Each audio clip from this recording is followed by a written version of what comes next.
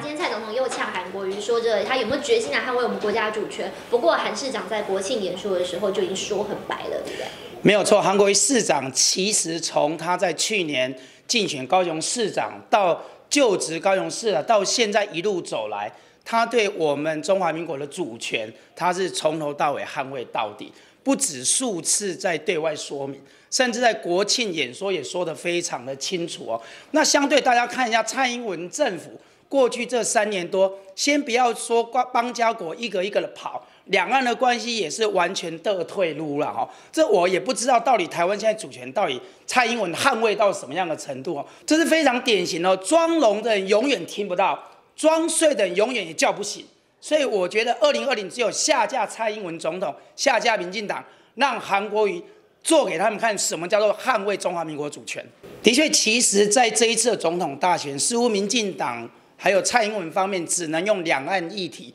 用统独的方法来止血。他这三年多在台湾，他所有做的倒行逆施的一些政策，这其实可以凸显出，其实蔡英文政府现在就是要靠着最近香港人的流血来帮民进党来做止血的动作。所以我觉得，既然两岸论述在现阶段这么样的重要，我觉得应该尽早让韩国瑜。跟蔡英文这两个候选人来做一个两岸的论述的一个辩论，让国人可以清清楚楚的知道哪一条道路才是对台湾最好的一个选择。对，我想这个苏贞昌院长要求别人都特别严格哦，他不要这个呃言语。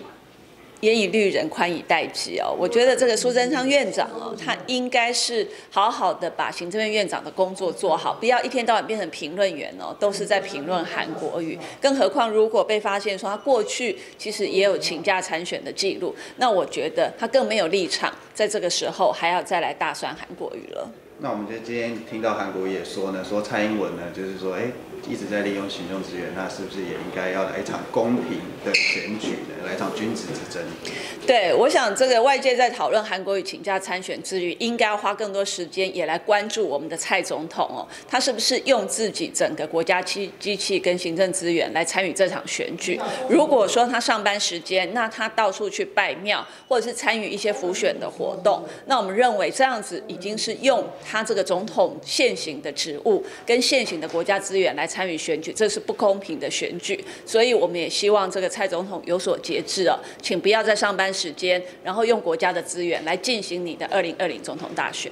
我也想请教一下，今天蔡总统又呛韩国瑜说，你讲的两岸论述那么多都不恰当。我现在最想听到的就是你说你有决心来保卫我们国家的主权。不过这一句话韩市长过去讲很多次，而且包括在国庆上面，他有一个金句，他说他愿意用拿站在第一线拿出枪，然后来转呃来防卫我们国家的主权。大家说蔡总统是没有听到吗？还是装聋？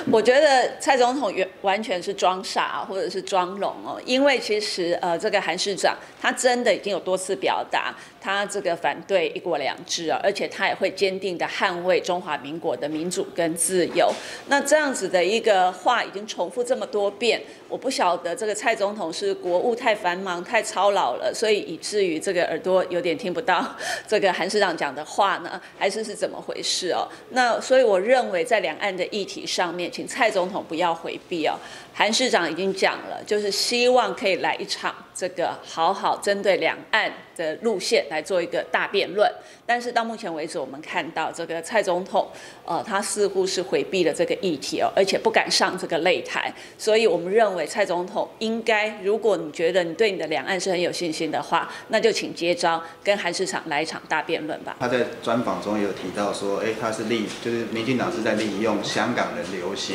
然后来帮民进党补血。嗯，对，我想这个呃。二零二零的总统大选哦，其实各党的候选人都应该针对两岸的论述讲清楚他的立场。但是最不应该做的事情就是说，呃，利用香港现在一个比较纷乱的形势，然后来炒作，然后变成对自己的选情有利。那我们看到的蔡总统不断的去炒作这个芒果干的议题、王国感呢，事实上，民进党他就是想要从香港的这个整个反送中的议题当中去得到他的政治红利。我们觉得这样子其实是。不恰当的做法。